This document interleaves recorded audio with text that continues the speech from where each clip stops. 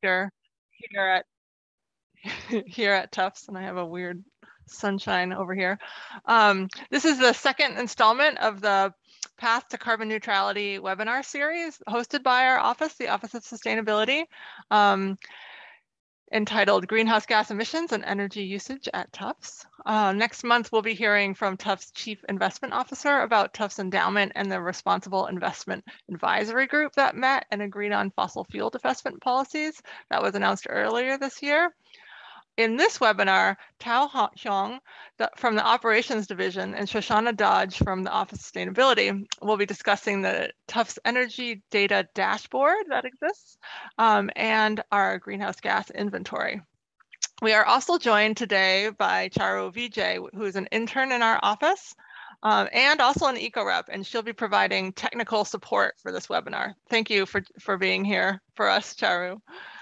Um, so to start us off, Thao and Shoshana uh, were wondering what kind of information and questions you had coming into today's webinar, because uh, we want to try to hold questions till the end, but you can put your questions in the chat right now, and then they'll get a little um, heads up to make sure they, they cover that if they if they see it in time. Um, and then and then we'll ask for questions again at the end, uh, in which case, if your question wasn't answered, um, that I will be I'll be asking the questions of Shoshana and Thao.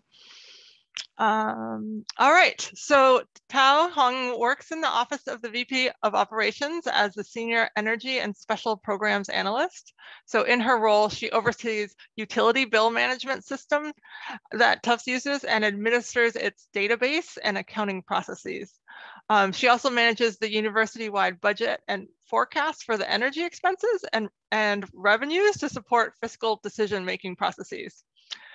Um, Thao graduated from Bryant University with a bachelor's degree in finance, and she will be covering the energy trends on Tufts four campuses.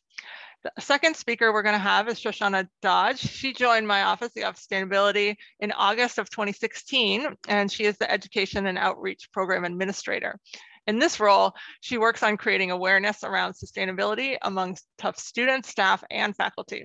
She also manages sustainability data for our office, including running the annual greenhouse gas inventory. She has a bachelor's degree in biology and environmental studies from St. Olaf College, and in 2020 earned a master's in environmental policy and planning from Tufts. And obviously, as I mentioned, she'll be explaining how Tufts calculates its greenhouse gas emissions. So with that, I'm going to turn it over to Thao to take it away.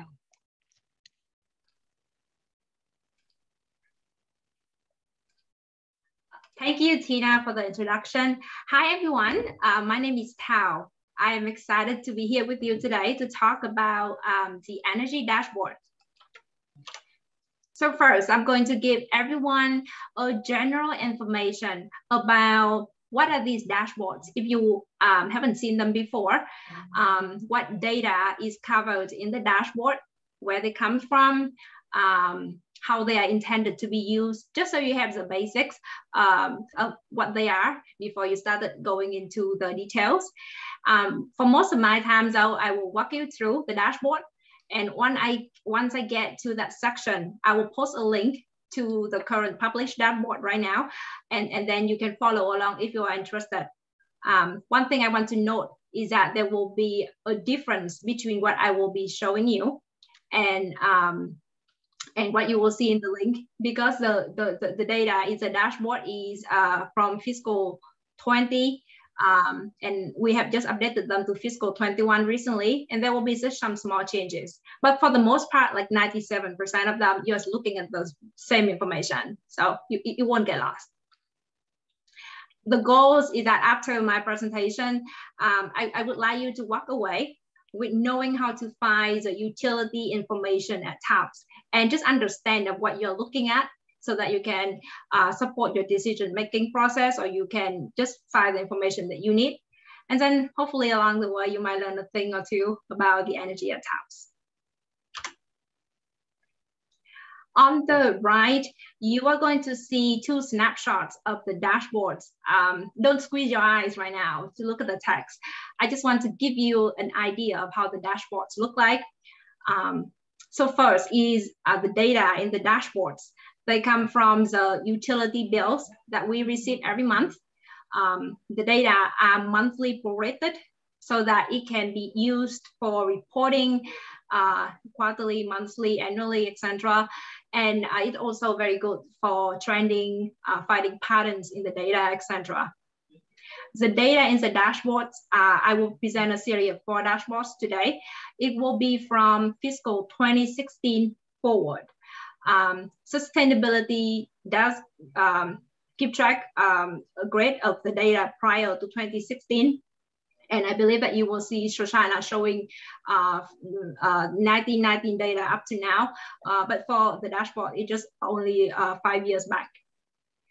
Um, before we go into the goals of the dashboards, I think it would be useful to tell you why we make these dashboards in the first place. And, and, and the reason is because we often get asked similar questions, like people would come and ask us, um, how much energy do Tufts use? What, uh, how much electricity or gas that Medford campus used last year? How does that change uh, year over year, um, etc. So those uh, might be the questions that you have. Um, and so our goals is that we can provide you with a high level, quick access to those information so that you can get um, information by yourself. Um, so think of that like an info desk, right? That you, uh, if you have a specific question in mind and not everybody has the same exact question, you can go in and look for that information. Um, so with that in mind, our goals is that these dashboards are uh, are for the uh, purpose of exploration. You're going to learn about the energy. You're going to understand what you're looking at through basic visuals, uh, and and and and uh, the information is accessible and, and and can be seen by everyone. Um, so you might guess that the audience for the dashboard is, pro is probably uh, a lot of people. Um, so first we make the dashboards so that the staff and the faculty across the universities uh, at different functions, uh, they, they are able to get access to this data because often um, they have to report on certain parts of the energy, like uh, we have to report the fuel oils for health and safety requirements. We do have to report electricity for um, commercial building survey, stuff like that. Uh, sustainability do that every year for emissions, um, etc. So, uh, so, so uh, there, there are a lot of reporting needs for these data, uh, and the students uh, come to us all the time uh, looking for these data so they can find way to help the university save energy, uh, save water on the buildings that they are interested in. Um, consultants often need these data, right? Uh, if they are going to deliver any um, ad hoc analysis or recommend any um, uh, ways for us to save energy, then this is usually the first few things that they ask to look at. And last but not least, the public community can learn more about Tufts, how we consume energy, and um, can also uh, download the data and, and, and, and, and look at the data as well. Um, so I already mentioned about the uses, and for the KPIs, I will mention as we walk through the dashboards. So these next two dashboards are more at the granular level. So before, uh, in here, you see the data at the university and campus. But uh, for these two dashboards, you are going to see the data at the building level, if that is available. Um, so students uh, often they want to know what is the energy usage at my house uh, if you live in a Coho or at the Barnum Hall or at um, Harleston Hall, whatever they might live at. So um, they might be able to find that information here. And it is available in the map form. Think like a Google map. When you look for places to eat or for sightseeing, this is similar to that. Uh, or you can look for the same data in an Excel form uh, um, and this is usually ways that I like to look at the data as well. So um, that is also an option. Um, so that is all the general information I want to cover with the uh, dashboards. And I'm going to post a link so you can uh, follow. Oh, hold on, let me post to everyone. Um, Once you click on that link, you are going to get to the uh, public dashboard. And again, there will be some differences between what uh, I'm showing you and what you're seeing, but for the most part, they're the same. Great. So what you're looking at is the energy dashboard. And by energy, I mean electricity, uh, natural gas, whatever information except water and sewer. Um, because the, the metrics that we use for energy are not necessarily the same as what we use for water, right? Because we report carbon emissions on energy, but we don't do that for water, for example. Um, and, and, and so uh, up, on the top, you see four numbers in big bold uh, in blue, and they are the consumption, which are measured in MMBTU the carbon emissions in kilograms. Now you also see that in metric tons, but that is easily convertible. Um, the gross square feet, which is a total um, square feet of the spaces that use energy. So if they don't use energy, it would not be here. And then the energy use intensity is a popular measure that people uh, that, that you might see them in, in different contexts too. Um, and there are different ways to, to, to, to, to calculate uh, different variation of it. Um, basically, it is uh, energy usage of the building divided by the square feet. And that gives uh, us a measure of the building um, intensity and how that compared to uh, another building. So if you have two buildings, you want to see which building is doing better in terms of energy. Uh, usually people see this, use this number uh, and the lower the number, the better it is. Um, as you hover the mouse above the numbers, you can see the definition and you can also see the table, which show you how that number change year over year. And uh, what is the percentage of change? And that you can do that with other metrics up here as well. So that is an easy way that you can see the number uh, without having to do uh, this kind of filter as I do in here. Uh, down here is a um, utility type or uh, think of that like the energy source. So in your house, you got the gas bill, the electric bills, water bills, etc. So those are, are exactly what uh, the components of that. Uh, I'm going to go back to 21 because that is the latest data. And you can see that 57% uh, of Tufts uh, buying is gas, 23% is electricity, 19% is steam. So we are a pretty big uh, buyer of gas. But if you look at 2016, for example, that's the earliest data I have in here, that component changed, right? Um, and then down here is a, a line chart of the consumption by year. So I have uh, the last three years, well, I have last year in here, and then the previous year, and then the previous historical average, just so you can sort of get an idea of how that changed over time. Uh, last, last one in here, and I won't go into detail, but this is a carbon emissions uh, broken down by different energy source. So um, uh, the the Shoshana is going to give us a, a, a, is going to give you more information how they are calculated uh, and etc. But um, if you just want a, a, quick high level of how everything changed year over year, this year place that you can look at. Uh, look like we, we do have a declining from 2016 to now, so that's good. Um, and then you can also do filter by campus if you are, say if you are in Boston campus and you want to see how the number look. You can uh, filter by Boston, you can filter by Medford if you want to see how Medford looks. And actually, as I filter these number, these number up here change, right? Um, and I think that's kind of interesting because before, uh, this number was like double this number. So it looked like if we don't have Medford, it is 0.73, and in Medford, it is 0. Um, 36. So, so, so, so you can do some analysis, quick high level in here and see how that breakdown of the utility change. So the next one is a water dashboard. Um, the water is measured in US gallon, so not MMBTU. And the matrix, you, you don't see carbon in here because, you know, uh, water don't have carbon. Um, but you're going to see I break down by uh, different campus. So you can see how much Medford use, how much Boston, Hillside campus use, etc. And have an idea of where we use water the most. The data for water is more granular. So you are going to see uh, at the building level, like down here. Uh, and and uh, you can see a bunch of bubble here. And maybe you can guess that I am referring to each bubble as a building and you can see the bigger the bubble or the darker the blue, whichever way you want to see, it is a higher the consumption.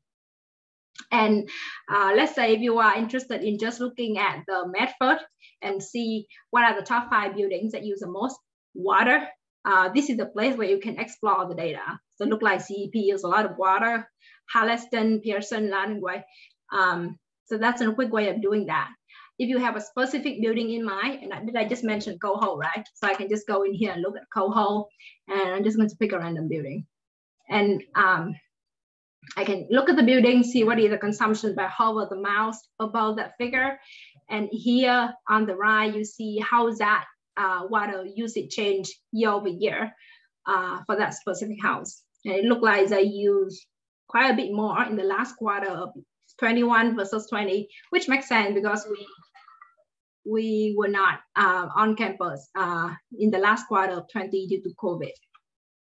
So lastly is the um, map, and the map uh, has a has a both energy and water on it. Uh, think of it like a Google map. So you would maneuver this map the same way you do with Google. You zoom in, you zoom out. You see sort of four different blobs of color in here, and that four different campuses. Each of the bubble is a building uh, the bubble has the same size, but once you cl click on the bubble, that give you the energy information broken down by the energy source of that building, as you can see down here on the line chart. And you can also quick, can quickly see how uh, the energy mix in that building as well. So look like dental has a 76, 24 uh, split between electricity and steam. Uh, I'm just clicking randomly. Uh, 160s and four have a 60 and 40% split and look like they're pretty in line with last historical average. Um, so again, that's another way of analyze the data uh, quickly right here, depending on what you're looking for. And you can looking for a building that you are interested if you do not know exactly where they are on the map.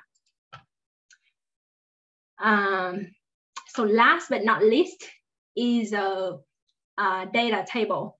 And this is just a tabular way of looking at things. Um, a lot of the analysis that you have seen before, they are pretty uh, basic and they are more for exploration. So in the data table, you can look at, uh, you can download the data uh, and, and, and do maybe regression on them if you're interested and you can filter by what you need. So I'm going to go to filter by Medford. I'm going to filter by, I don't know, academic building and I can filter by years if needed, but I'm not going to do that. Uh, and you can download data uh, by clicking on the download button. There's an option for crosstab and you can download that into Excel. Um, I realize though in the link that I provided to you, uh, the download option is not available for, for data, for, for the Excel option. So I'm going to post a link to download the data on this tab in the next time I update the dashboard so that you can uh, download the data and, and, and, and uh, analyze it whatever ways that you want. So that is all I have uh, for the dashboards.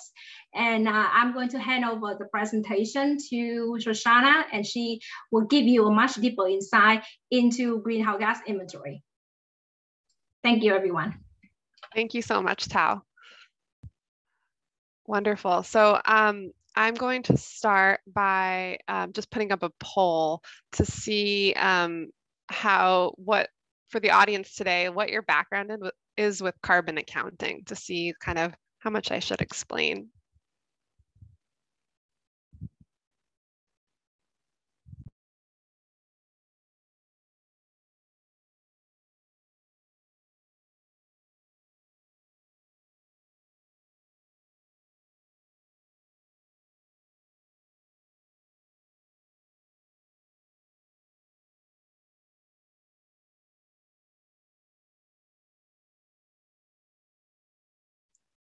Okay, so we have most participating. So we have about half of people that have heard of it, but they don't know too much about it. So I will go into a bit of detail, even though a quarter of people are very familiar here. Okay. I'll just, I'll just share that with you all to show you that 50% of folks are want some more detail. All right. So I'm going to go ahead and share my slides. Um,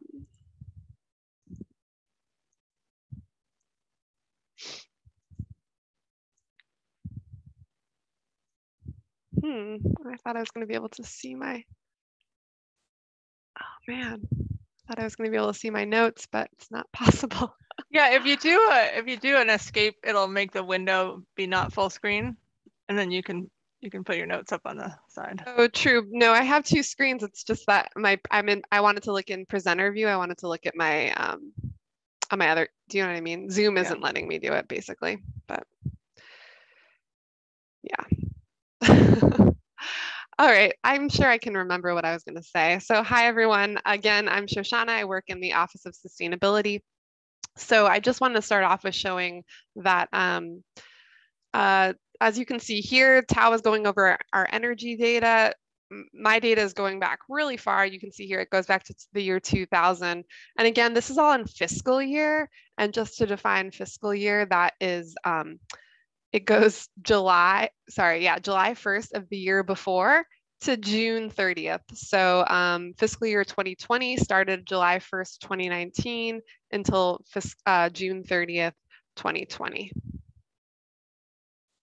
Um, sorry if you're chatting me, I'm not really good at seeing both. Oh, okay. Um, uh, okay, so this, what we see from this graph is that um, you know, over over that long period of time, 20 years, Tufts has increased its energy consumption. Um, it's been, you know, fairly steady over the past number of years, I would say. Um, part of that is because we've increased square footage and um, improved HVAC and ventilation systems. But even for all that, um, we've actually decreased our greenhouse gas emissions over that time period.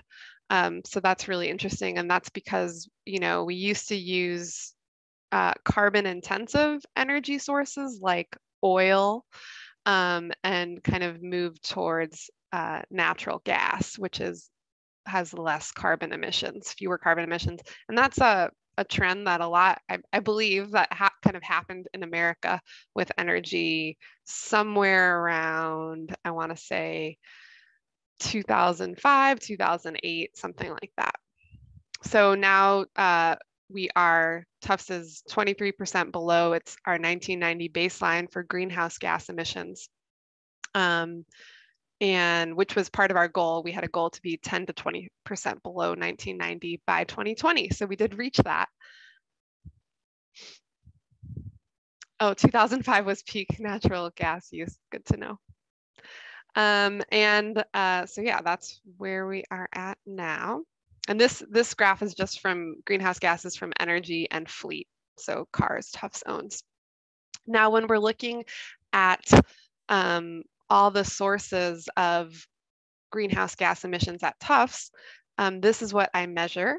Um, so it, it goes a little bit more than just energy. So as you can see here, um, we have electricity that's purchased from the grid. We have, um, and that's in blue, uh, in red is natural gas and mainly natural gas. We have sometimes use a little bit of oil on some of our campuses or maybe propane, very small amounts to burn on campus for heating, cooling, and electricity. And that's because we actually, the biggest reason we use so much natural gas on the Medford campus is the central energy plant. Uh, we burn natural gas there that creates heating, cooling, and electricity all at once. Um, so then we have the steam that is purchased to heat the Boston campus in green. Um, and then next we have university air travel. So on uh, air travel on university business. And I'll explain more in detail about these categories in a second. Um, then we have employee commuting and student commuting, the next biggest sources in blue and orange there. Really quick, I do want to point out that you see here is that energy basically comprises about 75% of our what we're currently measuring for our greenhouse gas emissions. And then followed by air travel and commuting. So those are really the big sources. And then we have a little bit of study abroad air travel, transmission and distribution losses. Uh, that comes from electricity. So there's some losses uh, with that that we don't even get to use, but does have greenhouse gas emissions. Um, and then we have some sources here that are really tiny, like our fleet and our university, uh, other university ground transportation, like when um, athletic teams take buses to, to um, other schools. And I'll explain this in a second, but the, the stuff that's like not showing up here is because it's so small. It's called de minimis. It includes um, paper purchasing, the animals that we own on the Grafton campus, wastewater, waste for Tufts, fertilizer use, and refrigerants and chemicals, although we could be capturing more of the refrigerants. We're not, we haven't gotten a great protocol for capturing 100% of that data. And so as you can see here, the total emissions um, in fiscal year 2019 was 59,000 metric tons of carbon dioxide equivalent emissions. And for fiscal year 2020, a lot of things have stayed pretty similar in the pie chart, but you can see that we reduced our emissions by 16%. And some of this is a bit estimated. And that's, um, I'll get into that in a second. Now, just to explain some scopes, um, I was, again, all, this is all in my notes, which I'm not seeing right now, but um, we can see here we have scope one, two, and three, and this green part is also scope two.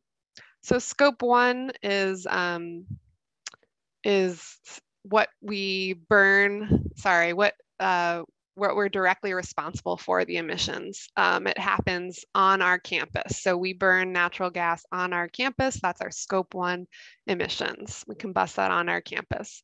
Scope two is energy that we purchase from an outside entity to, for our own operations. So we have to purchase electricity from the utility, from the grid for our, our operations, and we have to purchase steam from a different company to heat our campus.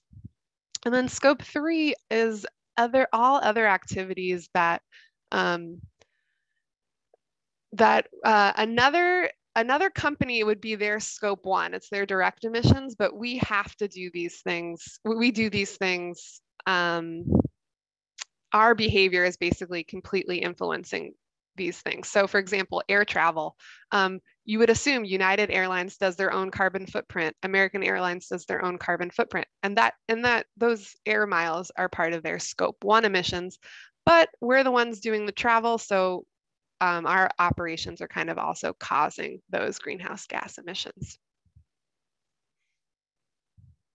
And some of the scope one is actually in these, like fleet is actually scope one and ground transportation is scope one because, um, or sorry, that's scope three. Fleet, we own the vehicles, so that would be scope one.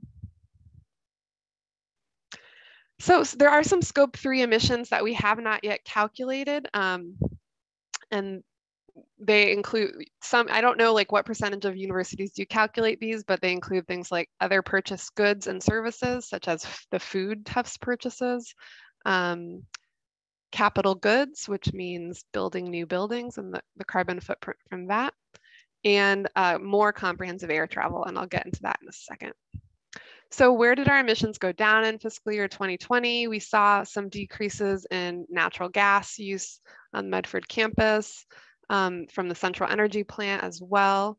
And we saw a decrease in uh, grid electricity use and uh, less steam was purchased to heat the, oh, sorry. The steam for the Boston campus was actually produced cleaner uh, in fiscal year 2020 because it was produced with more cogeneration.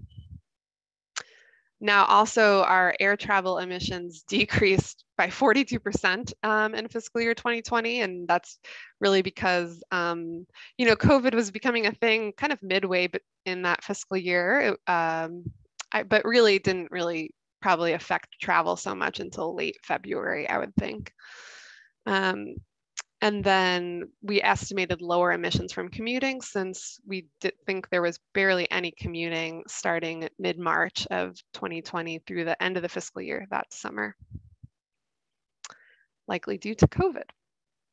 So uh, just to show you what was in the tiny slices of that pie chart, this is what our scope three emissions are.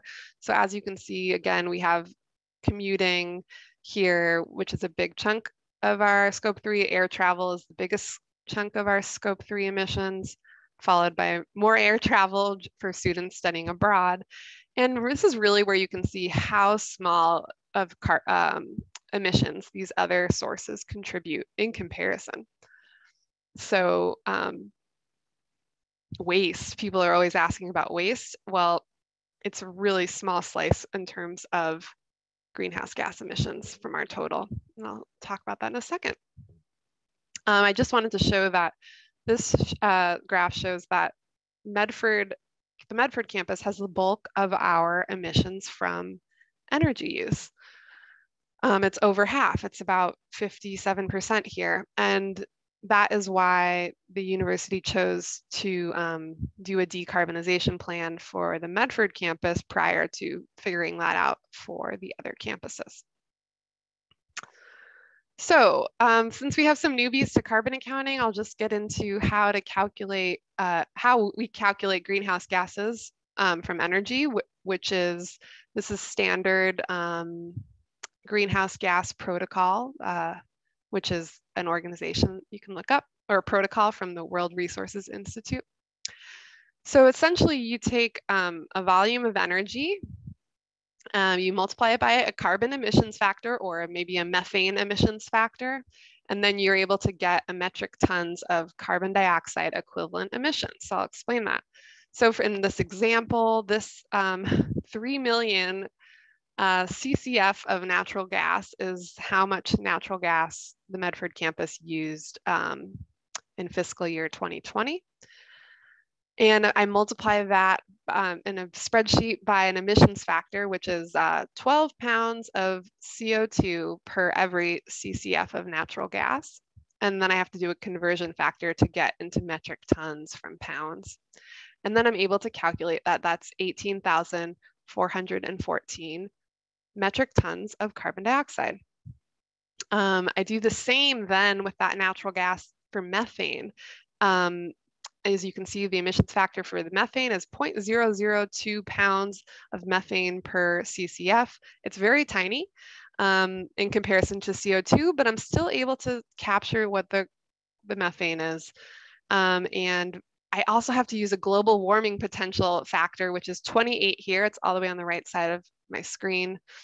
Um, that means that methane is 28 times better at warming the planet than carbon dioxide. And because of that, I'm able to get it into this MTCO2E unit, which is carbon dioxide equivalent emissions. And that's how you can convert something from methane to something equal to what that would be in CO2.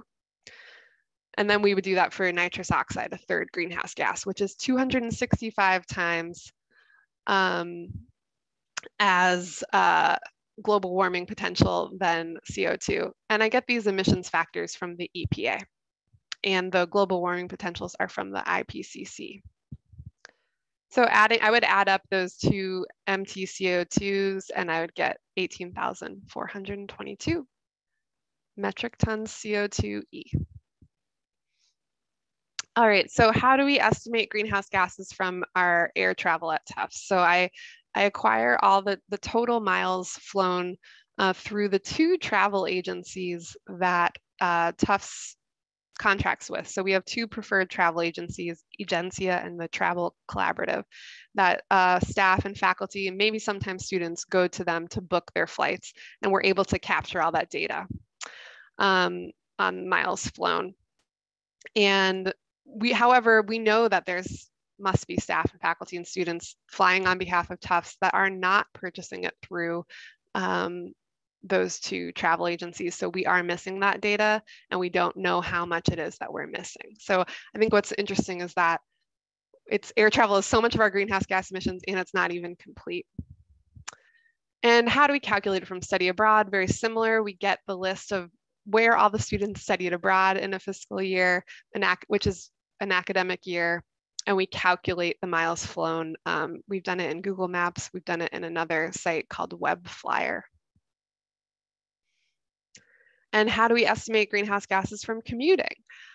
we do a survey typically annually what we were doing it before covid where we ask people how they commuted to campus during last week so we this is for staff faculty and students and then we extrapolate that data to all employees and all off-campus students so maybe we only get a 50% response rate on the survey but we extrapolate it to the entire population and then we um, estimate that numbers such as, okay, people are commuting five days a week, 42 weeks per year, something like that.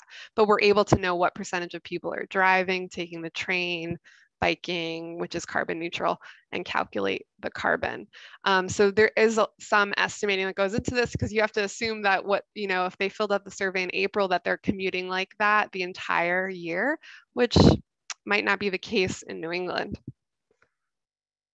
So how do we calculate greenhouse gases from fleet and university transportation? So for fleet, everyone that um, purchases gas for a Tufts vehicle has a special credit card, so we're able to track all the gas and diesel purchases. So that is pretty accurate. And for other university transportation, this is where I have to get very creative. I get all the bus trip mileage from our charter bus company, A&A Metro.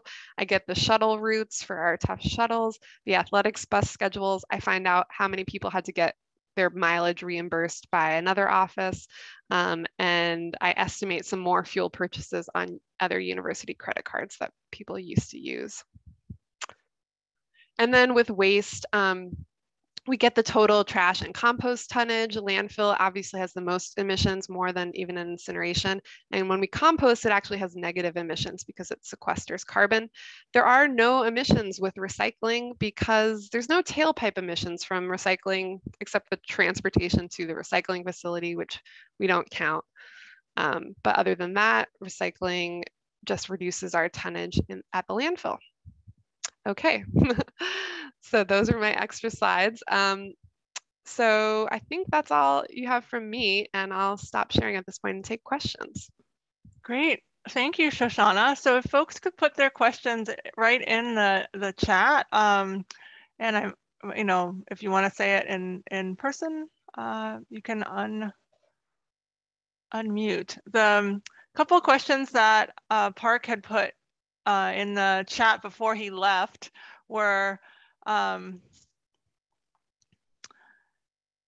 can he was just asking this is for you Thao. He was just asking if um, some statistics around the number of staff students and faculty be maybe put somewhere on the dashboard so users can interpret information on a per person level um, for comparison to peer institutions. Do you want to speak to that at all? Yeah i uh yeah that is a good um suggestion i um i, I don't have access to that uh, number of staff students faculty database yet. I, I'm, I'm sure that that you know that, that there could be a place that holds that information. So um i can look around and, and see where that can be mapped to the dashboard. Uh, we have that data. I think shoshana has that data actually I have it. Yeah, I've put it together, but I wonder if there's a universal dashboard for that. But um, I do keep track of that in the greenhouse gas spreadsheet because we try to get that per person, okay. especially for estimates like commuting and things. So, so, so that is on an, an Excel, I, I assume. Yeah, I, and then we could we could streamline it. So that's a great idea. Okay. Yeah. Yeah. And then this next question is for you, Shoshana. Is the electricity measure provided without renewable energy credits? Um, first, yeah. And so that's the first question. Yeah, the electricity that emissions factor that we're using is from EPA eGrid. So it just takes the average um, for our New England region for what the emissions are, you know, percentage of coal, percentage, which is very low here, uh, percentage of natural gas, all of those things. And yes, um, does it take out RECs? Um, I I I have to say that I can't remember based on that, but I think whatever the RECs part is, it's a very small part of our of the total electricity emissions for the region. Um, but I think in order to count the RECs, we would have to use a different factor called residual emissions factor. Um, so then the follow-up question to that is, for some purposes, users need to know total electricity as opposed to just net emissions. Um, but so I don't know what that's maybe not a question because you can get that on the dashboard. Um, beyond this utility dashboard, what is our best frequently updated source for all university related aviation, staff travel, faculty research travel, sports teams and music groups, course field trips? So I feel like you um, already answered that, Shoshana, in the presentation where you explained how we get that information. And I believe our office is the best place to get that information, but we calculate it once a year. So um, can't it's not uh, data that's available um, updated by day. All right, other questions? Does anyone else on the call um, have any questions? I see a lot of familiar names here.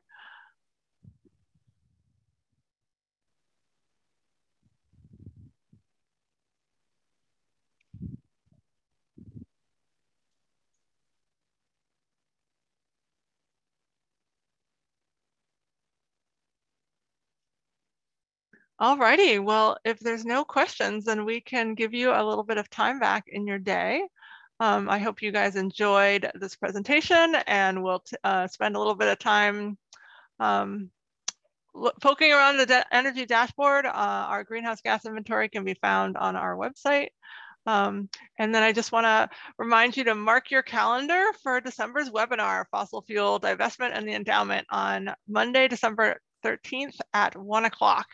Um, and this is again where Craig Smith, the Chief Investment Officer, will discuss Tufts decisions surrounding the endowment, covering the divestment from coal and tar sands announcement last year, as well as future plans. So thank you again, and thank you to Thao and Shoshana and Charu for being here today and sharing information and helping support the webinar. And we'll be putting our emails in the chat now, and we'll be sending the recording of the webinar to all that registered for this one. Thank you, everyone. Thank you, everyone.